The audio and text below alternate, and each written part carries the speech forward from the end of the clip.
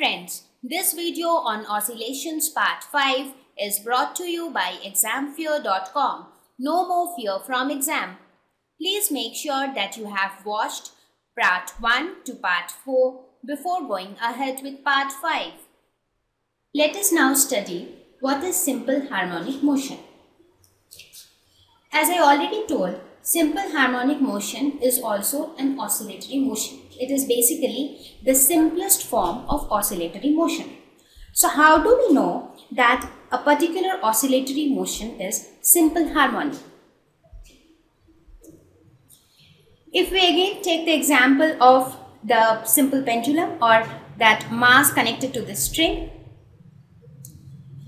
we say that a motion is simple harmonic which is often known as SHM that is simple harmonic motion when the force on the oscillating body is directly proportional to its displacement from the mean position.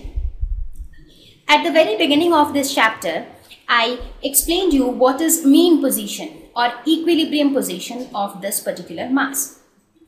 So there is a force which always acts on this oscillating object which tries to bring this object to its mean position. So if you leave this object to itself, it will swing for some time and then finally it will come back to rest at its mean position. So when this force which acts on this oscillating body is directly proportional to the displacement, then that kind of motion is known as SHM. That is this object. For example, you consider this object. So this mass is getting displaced from this position to this position, right? And this is its mean position.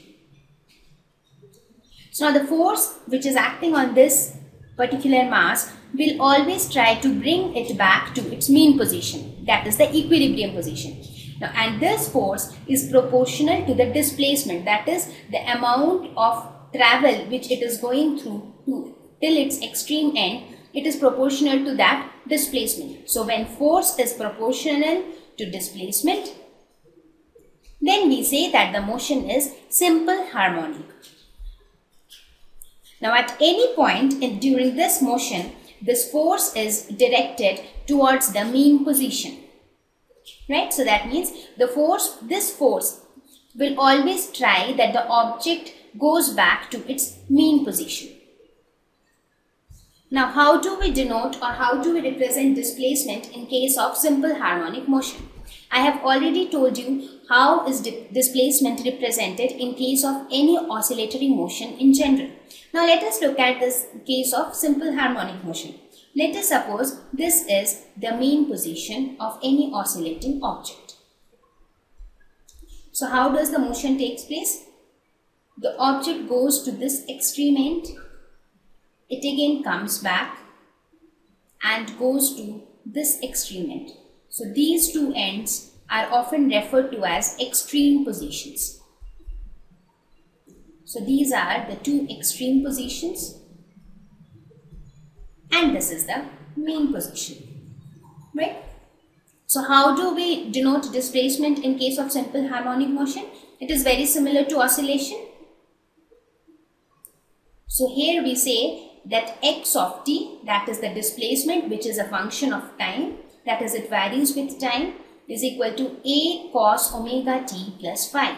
There also I told you that this was the same similar form, this was of the similar form because I told displacement in case of an oscillation is always represented by a function which is periodic with time. So therefore there also we had I had already explained you why was this taken as a cosine function because it is periodic with time.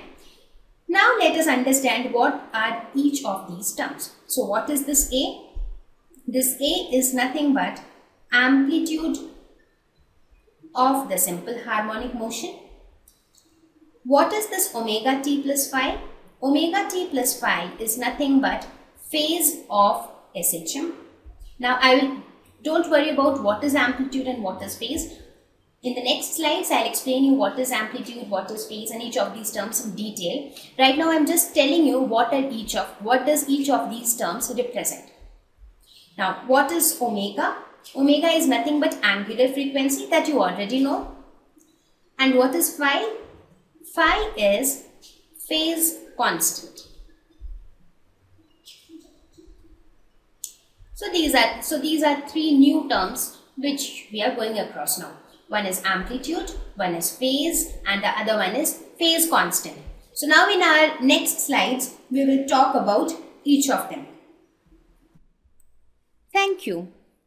Please visit examfear.com to watch free educational videos, try free online tests, get the best quality study materials, study from the best tutors and mentors and much more.